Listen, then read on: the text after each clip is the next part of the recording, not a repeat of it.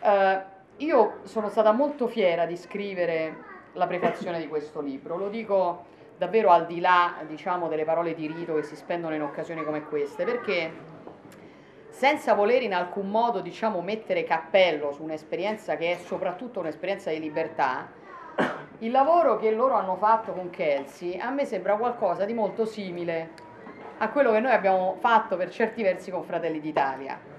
A me piace dire di tanto in tanto che Fratelli d'Italia è un po' il premio bancarella della politica, no? Voi sapete che nei libri funziona che ci sono i premi letterari, che insomma sono premi che vengono dati delle volte a dei libri sulla base di indicazioni dei critici. Tu poi leggi questi libri e dici, bello, no? Poi c'è il premio Bancarella, che è quel premio che viene dato a quei libri che vincono per il passaparola dei lettori. E sono una garanzia. Quando tu compri un libro che ha vinto il premio Bancarella, sono tutti libri straordinari, perché sono banalmente quei libri che nessuno ha interesse a che tu compri, ma che semplicemente sono il prodotto migliore, il prodotto più spendibile, che piace di più.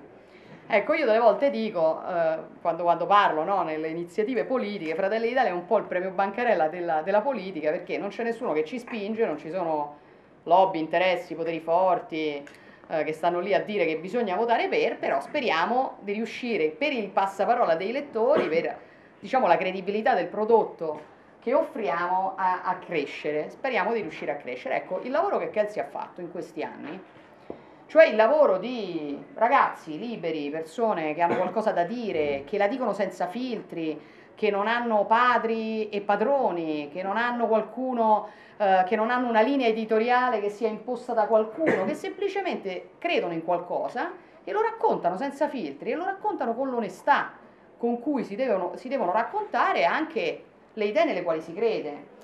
Cioè il tema, secondo me, è tema che manca spesso alla informazione italiana, al giornalismo italiano, al mondo della cultura italiano, soprattutto quello che è stato voluto da certa sinistra in Italia, per cui se tu non rispondevi all'ordine di scuderia non lavoravi, ma anche delle volte quello che è stato rappresentato dal centrodestra italiano. E è mancata la capacità di approfondimento, è, capace, è mancata la, la, la capacità di mettersi in discussione, di approfondire, di criticare perché si potesse anche crescere. Ecco, io penso che il lavoro che è stato fatto in questi anni da loro sia un lavoro va, per il quale noi li dobbiamo ringraziare perché è un lavoro di grande libertà.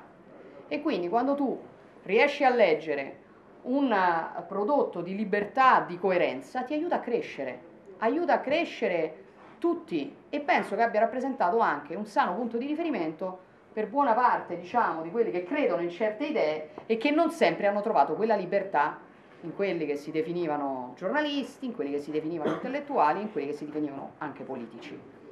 Dopodiché penso che nella storia della sinistra italiana che qui viene raccontata ci siano eh, tante cose che noi conosciamo, che io insomma ho per, tra i primi anche denunciato, ma ricordato un lavoro che feci quando ero molto ragazzina che era quel lavoro di denuncia della faziosità dei testi scolastici.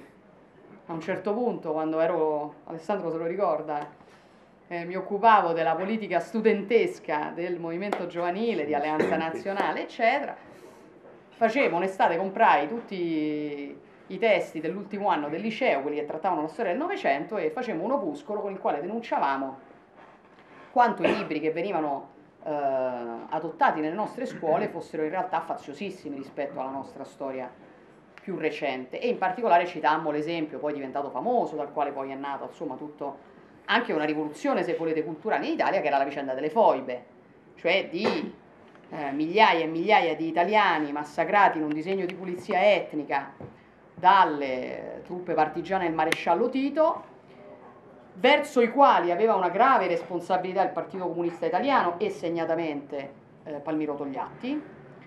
Quando le truppe di Tito, apro e chiudo parentesi, entrano a Trieste il primo maggio del 1945, il Partito Comunista Italiano fa affiggere un manifesto per dire ai cittadini di salutare quelle truppe come liberatrici. Nei 40 giorni dell'occupazione di Trieste scompaiono 17.000 persone, i liberatori. Mm? E siccome c'era una responsabilità del Partito Comunista Italiano e siccome quelle vittime, nonostante fosse, fossero vittime della loro identità, cioè persone che venivano massacrate esclusivamente per il fatto di essere italiane, di sinistra, di destra, giovani, vecchi, eh, cattolici, atei, di qualunque estrazione, venivano ammazzati perché lì si puntava ad occupare.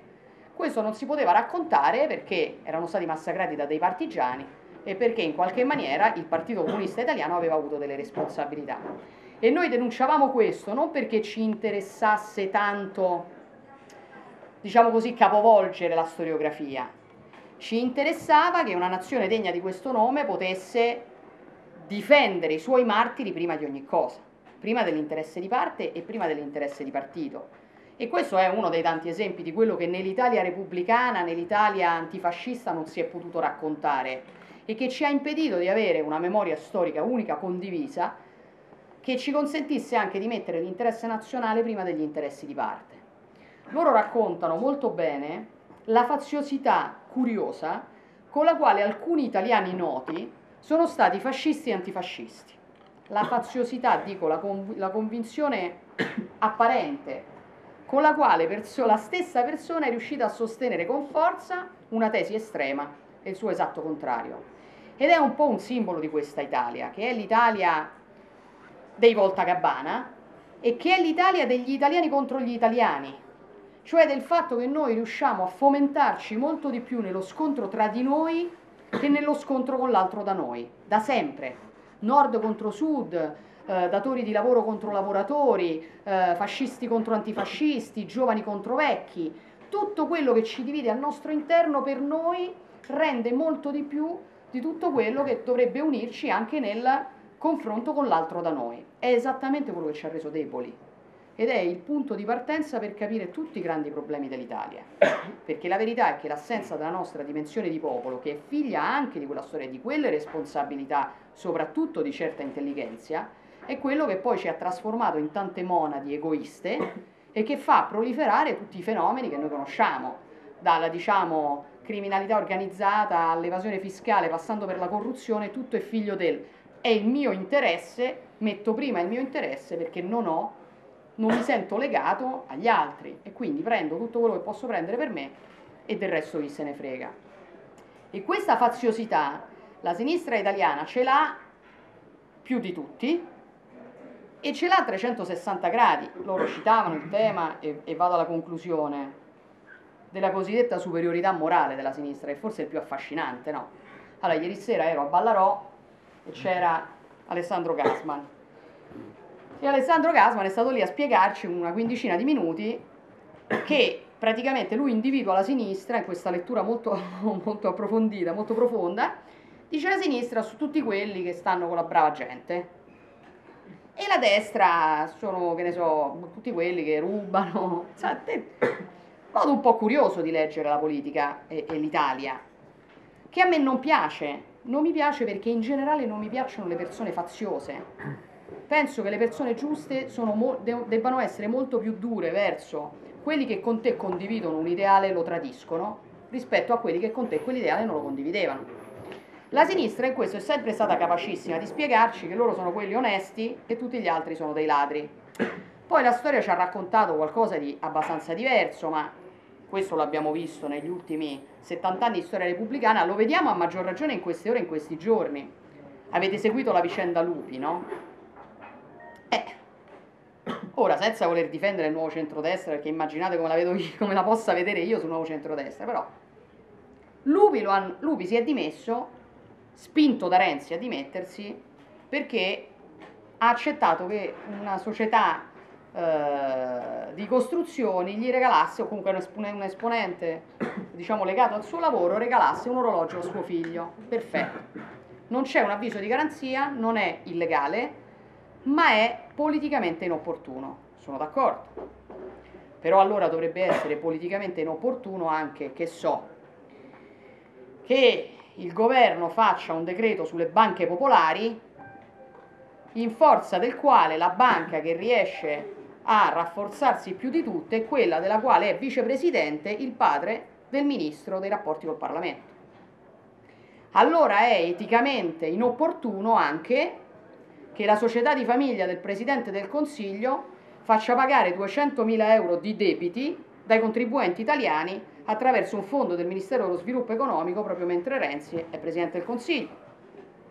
Allora è eticamente inopportuno anche che il Ministro del Lavoro stesse a, a cena una sera sì e l'altra anche con tale Buzzi, diciamo grande nome di mafia criminale, così come forse era politicamente inopportuno, ma questo nessuno l'ha detto perché oggi Buzzi è il nemico numero uno e tutti hanno dimenticato che Buzzi era uno che era stato condannato per aver ammazzato una persona e che era stato graziato da un Presidente della Repubblica non esattamente di centrodestra, e cioè Oscar Luigi Scalfaro, cioè il peggiore Presidente della Repubblica della storia italiana.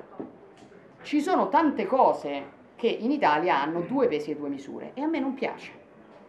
Non mi piace mai, non mi piace il modo che la sinistra ha di strumentalizzare tutto, non mi piace il modo che la sinistra ha di pretendere di dare lezioni quando obiettivamente non può darne.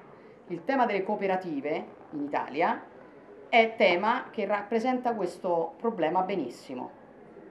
Quando, e chiudo veramente, qualche mese fa abbiamo cominciato a fare una campagna per dire scusate, com'è possibile che nell'Italia di oggi, nell'Italia nella quale una pensione sociale è pari a 480 euro, la pensione minima a 503, servano 900 euro per mantenere un immigrato richiedente asilo? Ci hanno risposto siete razzisti. E oltretutto questi immigrati vivono in condizioni disumane, perfetto, e allora questi soldi dove finiscono? Quando abbiamo fatto questa campagna ci hanno risposto che eravamo razzisti perché loro sono così.